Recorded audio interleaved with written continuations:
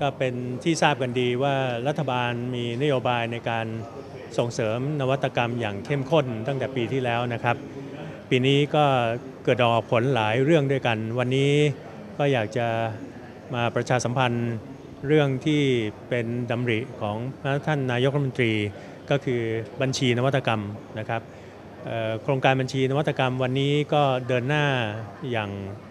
เเข้มข้นนะครับ แล้วก็ เป็นการที่ภาครัฐเนี่ย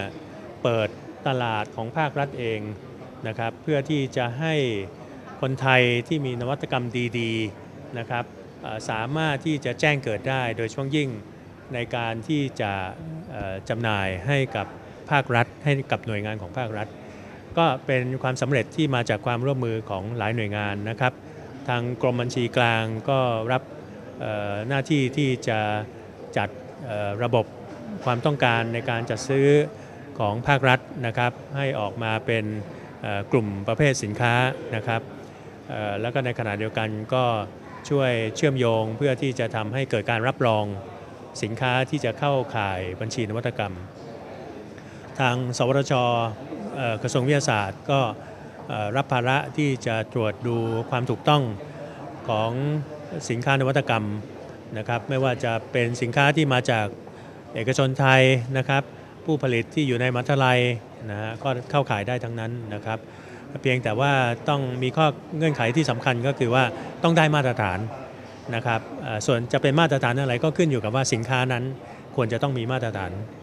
อันใดบ้างนะครับ สวชก็รับหน้าที่ที่จะตรวจสอบความถูกต้อง ซึ่งนอกเหนือจากเราจะได้สินค้าไทยที่มีคุณภาพแล้วก็ยังปลอดภัยด้วยนะครับส่วนทางกรมบัญชีกลางก็ ช่วยดูแลในเรื่องของระเบียบการจัดซื้อจัดจ้างให้นะครับเพื่อที่จะทำให้เอื้ออำนวยต่อการซื้อนวัตกรรมไทยนะครับโดยใช้วิธีกรณีพิเศษนะครับก็หลักการเหล่านี้ทำสำเร็จเรียบร้อยแล้วนะครับวันนี้ก็มีบัญชีนวัตกรรมที่เป็นรูปธรรมนะครับสามเเริ่มขึ้นบัญชีกันแล้วนะครับส่วนการจะจัดซื้อจัดจ้างกันจริง ๆ ยังไง อันนี้ก็ทางหน่วยงานที่เกี่ยวข้องก็ อย่างเช่น สวทช ตอนนี้เขาก็มีตัวเลขแล้วนะครับว่ามีจำนวนเท่าไหร่ที่มาขึ้นบัญชีนะครับทางสำนักงบประมาณตอนนี้ก็เริ่มชัดเจนแล้วว่าจะจะเซตเรื่องราคามาตรฐานกันยังไงนะครับ จะเปิดให้มีการจัดซื้อจัดจ้างกันจริงได้ประมาณสักเมื่อไหร่นะครับ รวมทั้งเรื่องที่ เป็นสินค้านวัตกรรมที่เกือบจะเป็นสินค้านวัตกรรม แต่ยังไปไม่ถึงฝั่ง ตอนนี้ตรงนี้เราก็มีมาตรการรองรับด้วยเช่นเดียวกัน เดี๋ยวเชิญเชิญอาจารย์ทวีศักดิ์เล่าให้ฟังสักเล็กน้อยแล้วกันนะเชิญจำนวนบัญชีนวัตกรรมวันนี้กับสินค้าที่กำลังจะเป็นบัญชีตั้งตั้งแต่ที่ท่านนายกได้กำหนดว่าจะใช้บัญชีนวัตกรรมเป็นเครื่องมือส่งเสริมนี่นะครับ เราก็มีเอกชนส่งรายชื่อสินค้า พร้อมกับเอกสารรับรองต่างๆเนี่ย มา 80กว่ารายนะฮะ แล้วก็ขณะนี้เนี่ยที่ได้พิจารณาเรื่องมาตรฐานเรื่องอะไรไปเรียบร้อยแล้วเนี่ยนะครับ ก็ 26 รายนะครับเรียบร้อยแล้วก็กำลังจะส่งอีกประมาณ 8 รายการให้กับทางสำนักงบประมาณนะฮะในจำนวนนี้เนี่ยอยู่ในมือสำนักงบประมาณเรียบร้อยแล้ว 26 รายการ ประกาศมาแล้ว 16 นะครับ เพราะฉะนั้นภายในสิ้นเดือนนี้เนี่ยก็คงจะมีออกมาเพิ่มเติมอีก 10 จากกระบวนการทั้งหลายเนี่ยก็เรียนให้ท่านผู้ประกอบการทั้งหลายทราบว่าขณะนี้ภาครัฐเนี่ยได้เดินเครื่องระบบบัญชีนวัตกรรม พร้อมที่จะพิจารณาให้นะครับ แล้วก็ส่งเสริมให้หน่วยงานภาครัฐเนี่ยได้ซื้อผลิตภัณฑ์ที่เป็นของคนไทย ซึ่งหากว่าท่านผู้สื่อข่าวได้ชมงานในวันนี้นะครับ ของที่มาโชว์นี่อยู่ในระดับโลกนะครับ คือมาตรฐานสากล แล้วก็มีคุณสมบัติในการทำงานพร้อมส่งออกด้วยซ้ำไป เพราะฉะนั้นการที่เรายกระดับประเทศไทยครั้งนี้เนี่ยถือว่าเป็นก้าวหนึ่งนะครับที่จะเดินไปตามรถแมพยุทธศาสตร์ 20 ปี แล้วก็จะทำให้ประเทศของเรานั้นก้าวไปสู่ประเทศที่พัฒนาได้เองนะครับ มีความสามารถในการส่งออก แล้วก็ยกระดับเศรษฐกิจของประเทศไทยครับสำหรับที่ท่านรัฐมนตรีได้พูดถึงเรื่องอพวกซึ่งทำเป็นสิ่งประดิษฐ์ขึ้นมาแล้วนะครับ ทางรัฐบาลเนี่ยได้จัดงบประมาณสนับสนุน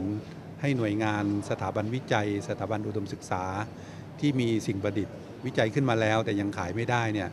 ให้ไปจับมือกับภาคเอกชน แล้วก็สามารถตั้งงบประมาณ เพื่อจะขอการส่งเสริมพัฒนาสิ่งนั้นเนี่ยให้กลายเป็นผลิตภัณฑ์ เพื่อที่จะพร้อมเข้ายื่นเป็นบัญชีนวัตกรรมในอนาคตต่อไปครับำนักงบประมาณก็เป็นกลไกสำคัญมากเลยนะครับ วันนี้ครับตั้งแท่นไว้เรียบร้อยแล้วนะครับ เชิญเลยครับครับผมฮะก็ทางสำนักงบประมาณนะตอนนี้เอ่อเรากำลังกำลังรวบรวมดีมานความต้องการของหน่วยงานภาครัฐ ที่จะจัดซื้อจัดจ้างสินค้าที่อยู่ในบัญชีนวัตกรรม ในปีงบประมาณ 60 เนี่ยเราได้แมทชิ่งกันนะตามคำของงบประมาณปี 60 ที่มาเนี่ยมามีได้มีประมาณ 6 รายการ ใน 6 รายการเนี้ยมูลค่าประมาณ 442 ล้าน นะฮะตัวนี้แต่กำลังรออยู่ว่ามันจะประกาศเป็นพรบแล้วยุติเนี่ยมันจะได้เท่าไหร่นะครับผมก็คงเป็นแนวทางที่สำนักงบประมาณจะพยายามส่งเสริมสนับสนุน การเอ่อจัดซื้อจัดจ้าง จัดสรรงบประมาณให้กับเอ่อหน่วยงานภาครัฐในการไปช็อปสินค้าที่อยู่ในบัญชีนวัตกรรมครับผม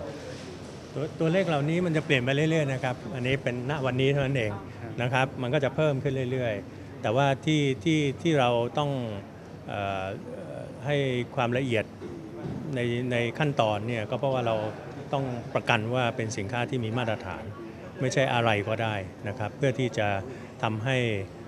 นวัตนวัตกรรมไทยเนี่ยขายได้แล้วก็อย่างที่อาจารย์ทวีศักดิ์ว่า ไม่ใช่ขายเฉพาะภาครัฐวันนี้นะ